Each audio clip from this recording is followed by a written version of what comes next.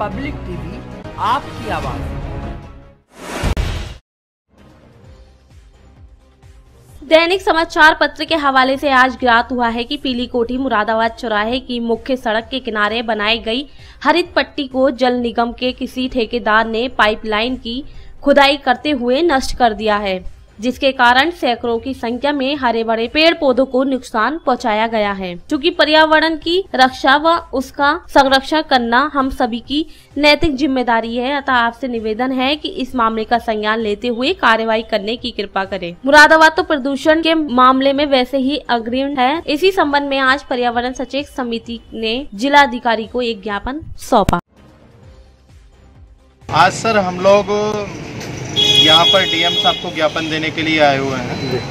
क्योंकि जो are N inter college है पीली कोठी चुराया से और बारह की तरफ़ जो रोड जाता है महाराणा प्रताप चौक की तरफ़ वहाँ पर आर एन इंटर कॉलेज के पीछे जलकल विभाग की तरफ़ से पाइपलाइन बिछाई जा रही है पानी की। तो पाइपलाइन बिछाई जा रही है लेकिन पाइपलाइन जब बिछाई जा रही है तो वो खुदाई करने के कारण वहाँ पेड़ थे पौधे लगाए गए थे पिछले साल भी उससे पहले भी।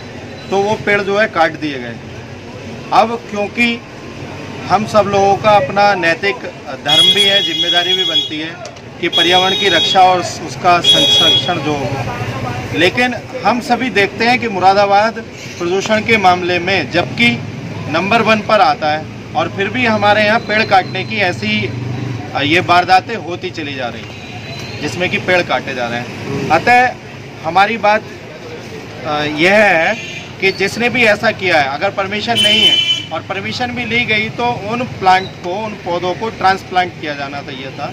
यानी कि दूसरी जगह उन पौधों को आप लगा देते ताकि जो है जो ऑक्सीजन की फैक्ट्री कहलाते हैं पेड़ पौधे उन्हें किसी प्रकार की हानि ना होती। क्या आश्वासन मिला है? आश्वासन डीएम साहब तो नहीं मिल पाए लेकिन एसीएम साहब मिले थे। उन्होंने कहा है कि हम इसकी जाँच कराएँगे और आगे विभाग को जो है स्थानांतरित करेंगे।